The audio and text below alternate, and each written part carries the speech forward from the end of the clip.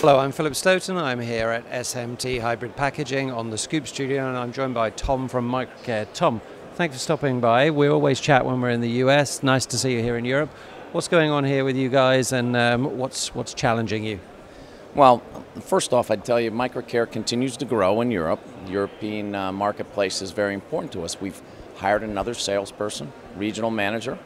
Uh, we're also uh, began to manufacture our products in Europe. So we opened up a facility outside Birmingham in the UK, and um, our fourth subsidiary was formed May 1st, Microcare UK Ltd. So a lot of exciting things for Microcare in Europe.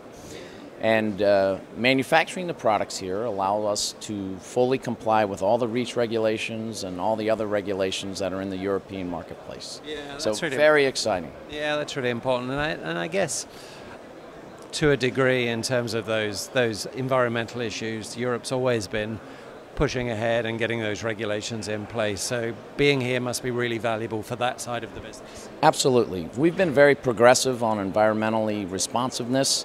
Uh, we we uh, always are looking for new chemistries that either global warming, lower global warming, energy efficiency, helping our, uh, the electronics industry meet the challenges for green chemistry. And specifically for SMT Nuremberg, what have you brought new to the show in terms of product? Well, we introduced in March in North America a bunch of new products. The big new products that we now have them all available in Europe. We have a pocket size flux remover pens.